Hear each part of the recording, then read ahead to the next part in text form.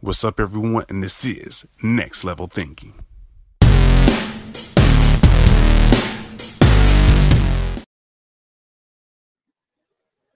Afternoon, afternoon. I'm here for another episode of Next Level Thinking. Hope everybody's doing well. I want to have my special guest today by the name of Tony Panico. Awesome, awesome. And of course, it's your host, Chris Holmes, bringing in great inspiration and much more. So I had you on here before, so they know a little bit about you, but I want to dive into like uh, a little bit of what's happening relevant today in the present day. So, how you doing with everything going on in this pandemic? I know that's on everybody's mind. Give us some positive energy. Well, I, I fortunately I got my second shot about 14 days ago, so I should be okay now.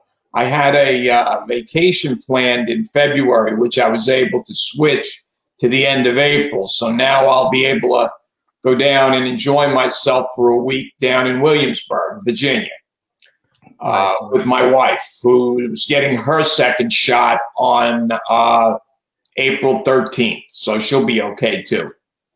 Thank God. Uh, that's good to hear because I know like a lot of things have been going on and I, it's so very important to just take care of yourself. If like if anything, these I can say the year a year and a half, and I, what I think has been like a real big focus on taking care of yourself because I for the longest uh, even I have been guilty for this. We were like, oh, we're I'm okay. I don't have to worry about all that. I'm mucho macho man, and nothing's going to phase me at all. And then it's like a reality check. So it's important to take care of yourself. So along this journey of this, can you tell us three uh, three reasons why it's important to take care of you? Because I think a lot of times that's uh, we forget to do in our busy lives, especially in business and much more. But uh, go ahead and. Uh, well, you know, um, for me, taking care of myself is important. Number one, because um, I like to be an independent person. Mm-hmm. And, uh, you know, independence requires us to be able to uh, take care of our needs both presently and for the future. So, you know, that's that that's real important to me. Uh, you know, secondly, I'm a married dude, have been married for, for oh, 38 years now. Oh, wow. And, Whew, that's some lessons, Sonny. as tough as I am, I can tell you she's a lot tougher than I am. Okay, uh, to put up with me, but you know, my it's very important to try to keep her happy and to do the things that make sense for her as well. Correct. And of course, the third most important thing, and some people might actually make this number one, dependent, okay. but uh, we've got three sons and a daughter and a granddaughter, and that's family. And uh, nothing's more important than family, if you know what I mean. Almost definitely, because they're going to be in from the beginning to the end. That's their bloodline. that's true. That's true. Cool, cool, cool. Yeah, that is all a great value, especially with the family, because uh, that's who we grow up with. Even though we may go on through our bits and differences and much more, family's going to be there with you. So we gotta know how to take care of each other and much more, and then be there for the the long terms because that's most important. Especially absolutely like how you were talking about with you being a married man, and for who? How many years is that again? Thirty-eight. Lord have mercy if I do that. we've been together. For, we've been together for forty years. Actually, we met in nineteen eighty like I said, I'm I'm a sponge soaking up some great information on that. hey, that's just my honesty when it comes at that. That's that's um, very beautiful. So, um, even more when it comes to business, uh, what is one thing that catches your attention? Because I know in the news it's been showing like a lot of these big businesses going bankruptcy and much more because they wasn't really prepared for something like this and it's like that it blindsided them. So by watching all like these major corporations and businesses that you thought would be like here forever, it's now just shattered.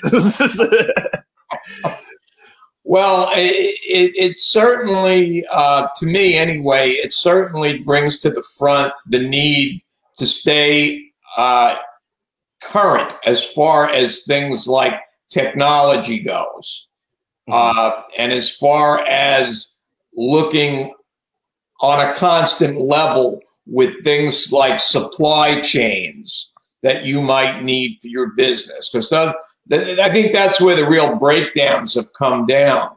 Uh, those businesses that have been able to bridge those two gaps, I think, have survived. But the businesses that haven't been able to probably haven't, or have had to go into very, very deep debt to, to, to, keep their doors open. Yeah, and that is like uh, the biggest thing too, because like the unexpected and going to huge debt, because now you got to wor- worry about overheads, uh, payroll, and much more. And speaking of payroll, now this is like crazy out of American history.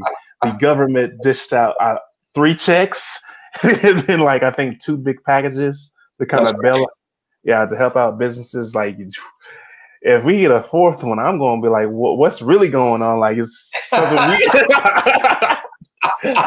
I mean. Well, I'm glad to see that they're giving it to the people and they're not just putting it in their pocket. Mm-hmm. Okay, I, I, hate to say it, but I, I don't have much. Uh, I don't have too much trust in in the politicians, and I don't care what side we're talking about. Okay, uh, it's it's I don't know. yeah, I, I agree with that. That's a very dangerous game to play because, like, you're putting your future of your business in the hands of somebody else that may know nothing about you, no kind of knowledge, and much more, and you're like, okay, I think this is the best decision. Wait, wait, you don't know nothing about what I like, really? I don't, I'm not too favored about that. Um, I want to key a little bit more on the the importance of adapting. So, especially nowadays, mm-hmm. like we used to be in these offices all the time. Now, of course, we're getting a little bit back into that, but it was a huge reality check when they were like, "Okay, we're having a meeting. Uh, we can't go in the office." Mm-hmm. Oh, so we're gonna do Zoom? yeah, well, what you know what though, I'm um, I think a lot of businesses have probably come to realize that they could save a lot of money not by cutting employees, by but by cutting the amount of real estate they need. Oh, that is really okay. huge because uh, corporate office like what thousands or like even just rent one little well, space? I have a daughter who's uh, in a big corporation and now which will remain unnamed, but you know, she's been able to stay home and do work from home four days a week since this thing started. And what they're finding out is she actually gets a lot more work done from home than she does from the office. That's number one. But number yeah. two, and even more importantly, uh, she's saving gas money and everything else because it takes an hour each way. And she's home when her daughter gets home from school. Oh, big plus. yeah. Okay. And and you know, so and the other and, and as far as the company's concerned, she's getting all the work done. Uh, they don't really need that office that she sits in. you hear what I'm saying? Yeah, uh, now you're gonna have people being like, "Hmm, do we really need to hold this office space?" I mean, exactly. we get, and then we're much more efficient having them at home. You just said the right word, efficiency.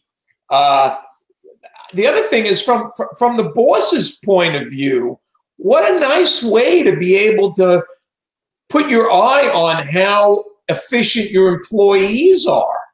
Mm-hmm because now they're all you know you're seeing them in a different light you're seeing which ones are producing and which ones aren't especially when you can't really watch them all the time they're at home yeah but you, you, what you can watch is what they're accomplishing hmm. you know and um, more and more i think uh, in a lot of work i mean you know unless you're doing physical work uh, as far as office workers are concerned, most of that is is on a computer, you know. And uh, there's nothing you can't do on the computer at work that you can't do at home. Exactly. And I know on a previous episode, uh, you were talking about how you were generating like a huge and like very high end leads and much more to help uh, mm-hmm. progress any person to like a way a higher level. Um, yes. But for like a person who doesn't actually own a business like mm-hmm. what can they do now in these times to maximize because we have technology all around it and i know a lot of times uh, especially these podcasts and minds and much more but like oh, mm-hmm. oh it's just sort of like business like no you can do the same thing too in your own personal life so shed, uh, shed the light on like what they can do in their own personal life to take advantage of these resources and much more well in in your own personal life the opportunity to meet new people through your friends. I mean, I'm gonna give you a for instance, okay? I mean, uh, I use LinkedIn a lot myself. I don't know about anybody that's watching us, but I'm inviting people. I might invite 20 or 30 new people every week to join me with LinkedIn. Uh, now, I know my wife uses uh, Facebook. Mm-hmm. And it's amazing. You know, we have fam- I give you we have family members and stuff that we don't get a chance to see, but she at least can keep in contact with them on Facebook. And as far as friends, you know, her her group has just grown and grown and grown. Uh, uh, ju- you know, just by by in by networking, if nothing else. Yeah, and that is like it's like everything's at the palm of your hands nowadays, especially. I remember like I mean, my grandma had me laughing just there was times where you had to wait till you got to the actual phone or go mm-hmm. like call the collector or better uh-huh. yet, it'd be like um someone just beat me. Let me try to get my phone, stay contact. Or here's another fun one. Like in school, when we didn't have all these cell phones, I experienced a little bit too. But like, yes, meet me at the mall at this exact location at this time. Like, oh. okay, I will. And all of a sudden you're there and like, where's John? Where is right. right. Well, yeah. I mean, it's just it's it's giving us a, a, so more many uh, more ways to communicate. Now, of course, I think some people have a difficulty because they haven't uh, learned how to communicate properly, maybe. Mm-hmm. So that's also something a person needs to think about if they're looking to grow, if they're looking to grow a business or they're looking to grow personally. Okay, is is learning how to communicate. Uh, and you know there are plenty of uh, assets out there that you can use that will help you with that. Mm-hmm. And it's, it's funny you mention that because it reminds my grandma said, "Closed mouth don't get fed." Like your biggest breakthrough, your biggest client, your biggest next adventure or travel or much more can be right in front of you, but because you keep your mouth, it never happens. That's and right. Communi- communication is like the fundamental thing, I believe, of everything. I mean, even with Egyptians or like any kind of like culture, like writing, you had to communicate somehow. That's right. That's right. And, you know, I mean, people don't realize it, but, you know, writing has, goes back over 5,000 years in human civilization. It's more than that. And, uh, you know, especially if you look at uh, artwork, I mean, you know, there's artwork that goes back 10,000 years. I mean, it's, it's, it's, it's pretty crazy yeah, we have definitely progressed a long time. So it's just building on top of each other. It just goes back to communications, everything. Uh, just kind of on a fun note, just imagine, let's say there's a gunman behind you and I don't know how to communicate and I'm over like this. You're looking at me crazy, like, what?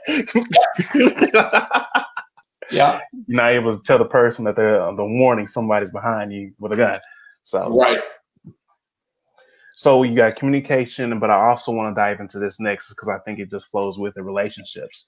And this is going to sound like the uh, like the thing everybody hears all the time, but it's so important. Like it's all about who you know. The power of relationships is very impacting.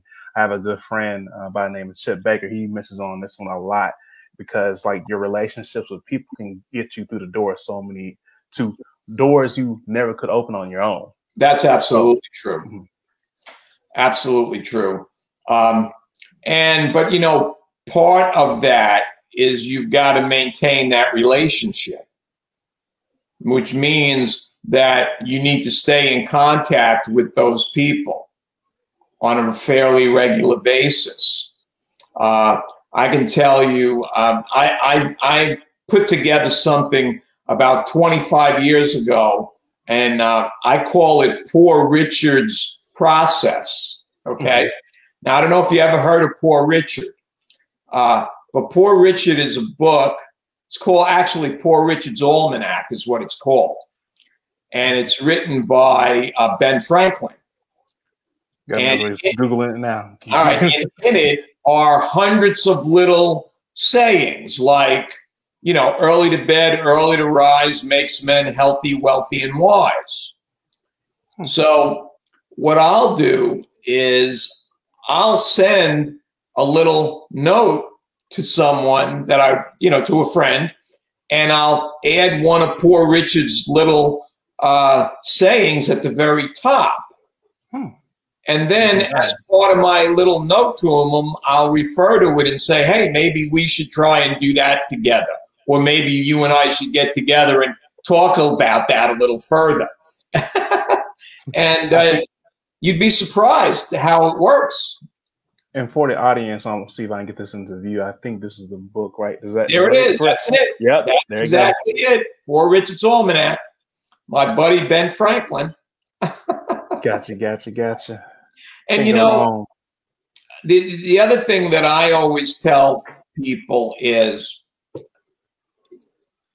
what you want especially when it comes to business, if you're looking to find new clients, what you want your friends and your good clients to do for you is you want them to actually introduce you to hmm. someone.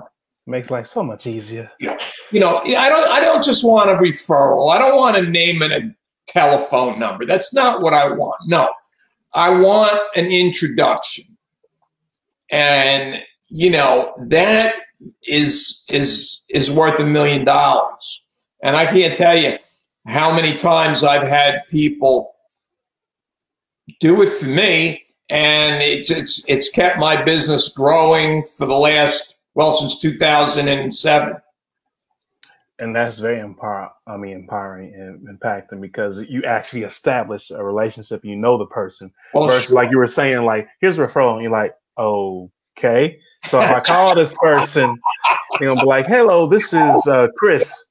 Who's Chris? I don't know. The, Chris who? Well, that's right. Whereas if your if your friend calls us for his friend and says, "Hey, you know what? You ought to talk to this guy Tony because he might be able to help you." Duh. Now when I call them, they they'll listen. You know what I mean? And yeah, now it's gonna go like like, who is this, Chris? Oh, you know what? Anthony did mention you. So, yeah, I'm, I'm kind of, yeah, go ahead and tell me a little bit details. It's a complete different That's exactly right. And uh, part of the problem with a lot of businesses is they don't even have a system to stay in contact with their clients.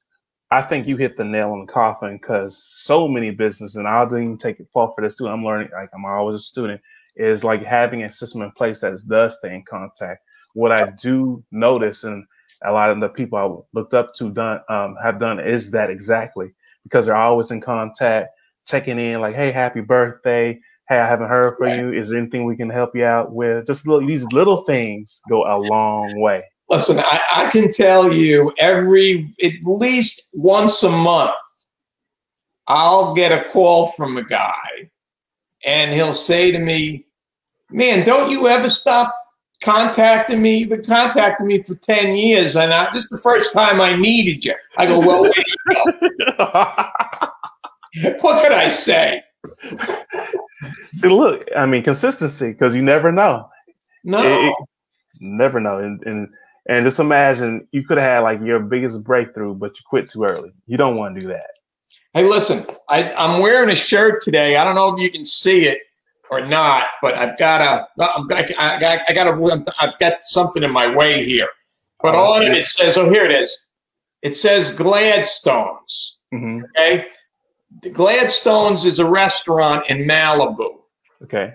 The first time I went there was, I'm going to say 1996 or 7. Okay. And whenever I'm out in the Malibu area, I never not stop at Gladstones. Now, go to spots. Right now, it's changed over the years. There's no question about that. But I always got to stop by, and and I think I bought this shirt that I'm wearing here in '98 or '99. So, but you know, I mean, that, that, that it's important for businesses of all kinds, no matter what they are, you know, to give their customers a way to tell other people about them. And if you don't do that, you know, it's really hard to grow. Nothing beats having somebody else talk all kind of great words about you.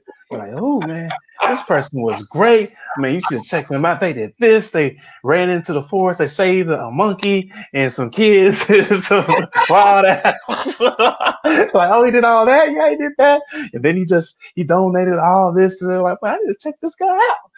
Yeah, you know? yeah. Well, the, the funny thing is about Gladstones. The guy who who started Gladstones was actually a Hawaiian uh, what do you call it? Um, surfer. Okay.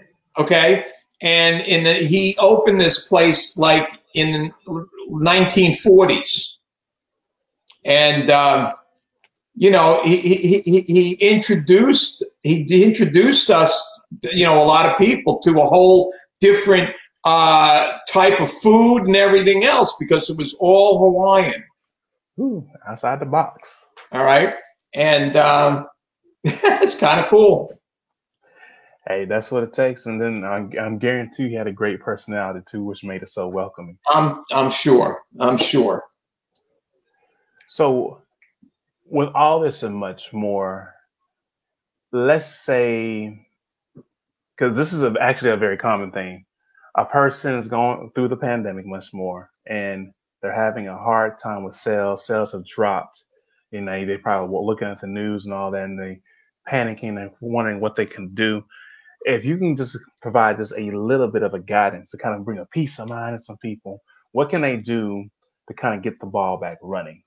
Well, one of the first things I tell somebody is you've got to be able to describe for yourself as well as for anybody who might want to help you what a client looks like meaning, you know, is there an age group? Is is is is your product more appealing to women or to men uh, or to kids? Uh, is is your product uh, more related to a wide range of economics as far as people are concerned, or is it something that's more narrowly described? Uh, you know, and you've got to have a way to describe what your your client looks like. Once you can do that, then the opportunity to be able to build a list of people or families or households that are within your geography becomes doable. And then the only other question is how do you want to make contact? And frankly, today, I mean, email is probably the, one of the best ways, or texting is becoming very popular. And, and just, just from some st statistics, when you send out a thousand emails, you probably will get about a hundred people to look at it. It's about 10%. Okay if you send out a thousand texts, you're going to get about 800 people to look at it. Because everybody's walking around with this. All right. Oh, text message. That's right. Now, what what a lot of people will do is that they'll send a text message out and they'll they'll they'll attach their website or something like that, or they'll attach a coupon. You know, like a $20 off coupon or whatever the case may be. And, but, but the cool thing is, is the more people who see it, obviously, the more results you're going to get. Of course. and then, and, and, and then of course then it becomes up to up to you to follow up with those people properly on you know anybody exactly. who responds Exactly. That just reminds me like you miss every shot you don't take. So if you don't take your shot, you got the same result you came from in the beginning. That's and, right. And um, I'm glad you brought that up because so many people like they may be afraid to send a text message out there and not give themselves an opportunity. Well, you just pretty much said like if you really want to get things rolling, take your shot. That's take right. that first step.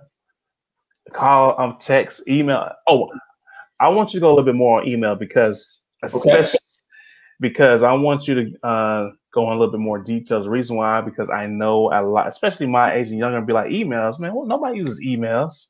Now I know you know that's completely wrong, but I'm just telling you how a lot of us say like emails. so go a little bit more Yeah, they, on they- that. yeah. I mean, first of all, you know, the, the, your email is going to get to your phone or to your computer, whatever you're using, or to your to your, you know, if you're just using an iPad or or, or, or something like that, you're going to still get it. Uh, that's number one. Number two, if you design it properly, you'll get the the open ratio that you're looking at for, which is about 10%.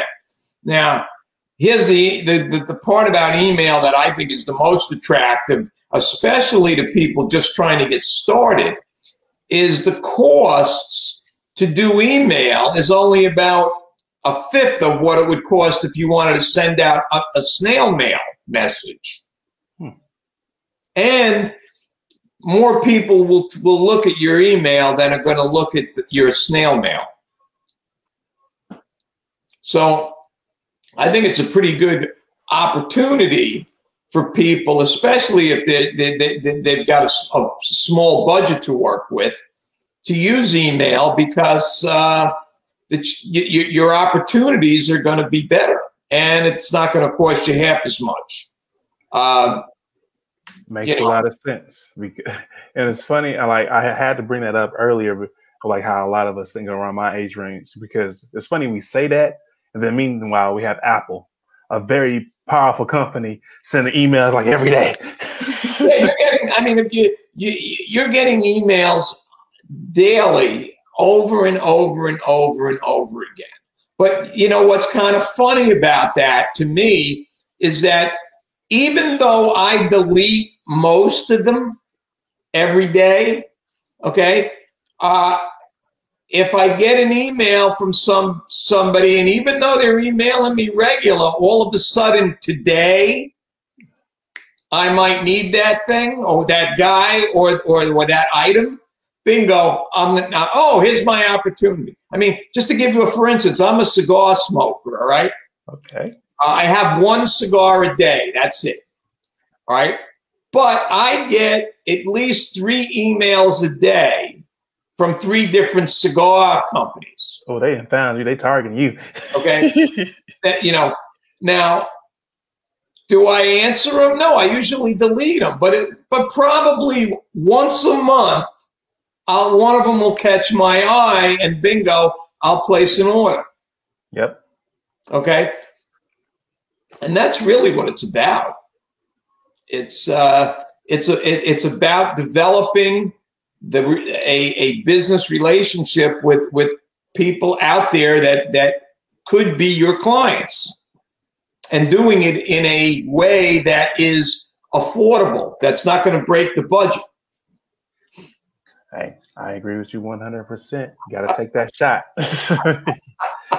so, to close this out in a nice little bow, I'll, I'll say this question for last. okay I know you hit on this a little bit, but just for the newer people coming in, how do I get the attention of high end customers? I'm talking about them six figure and million ones. Now, I know we did a whole episode about this, but just go ahead and high Yeah, end you people got to sit up for this one.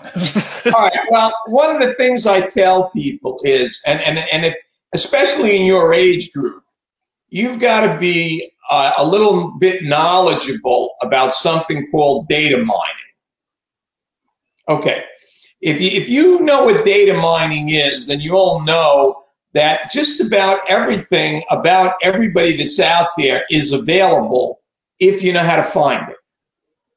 and just to kind of get a little extra value, quick def- define definition of data mining.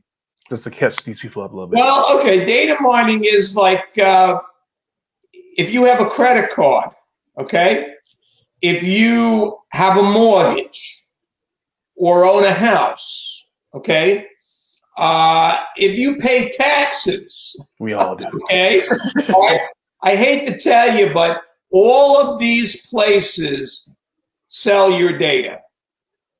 Now, they have to do some things with it to make that uh, quote legal.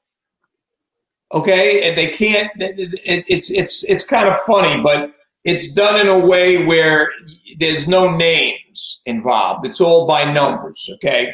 Gotcha. But here's the thing: if you know how to read the numbers and how to unravel it, then you can you can find a lot of things about a lot of people pretty easily. Okay. And I'll give you a for instance. If you want to find people that are making a $100,000 a year, you can do it. If you want to find people who are making $200,000 a year, you can do it. Okay. Uh, if you want to find people who are worth 250,000 net worth, you can do it. If you want to find people who have a million dollars or more, you can do it. They're like, wait a minute, like show me the money. right? Wait a minute. If you want to if you want to search for specific types of things like business owners who own businesses that are doing more than 5 million a year in sales or 10 million a year in sales, you can do that. It's doable. And I know everybody's watching now and they're like, how? How, how, how? Well, that's where I come in. okay. Uh, that's where I come in. I can help you to do that. I can show you how to get it done and, and at a very reasonable cost. Uh, you know, now, are there other people out there? Yeah, there are. But for most of the people who are going to be uh, using this kind of service, yeah, you probably want to talk to me. nice, nice. So if you want to find your next high-end customers that kind of speed up some things and get yourself ahead, go ahead and talk to uh, this guy. You had to make sure because you know when you point, the camera's like in reverse. That's what I'm finding out. It's reverse. cool, cool, cool. So with that, like, how can they contact you? Well, uh, I give them, I tell people, listen, you can either go to my website, which is partnersformarketing.com, and take a look at the website. Uh, or if you want to call me, give me a call 609 760 1754. Gotcha, gotcha. So one more time, like them commercials, like, and my number again is 609 760 1754. And awesome. just say, Tony. And the rest is history. So thank you again for being a guest on the show as we close everything out. It's your host, Chris Holmes. I always bring you great level guests to help you take it to the next level. And again, I have my good friend by the name of Tony Panico. Awesome, awesome. Make sure you subscribe, share, and much more as we help elevate you to the next level. Peace. Have a great day.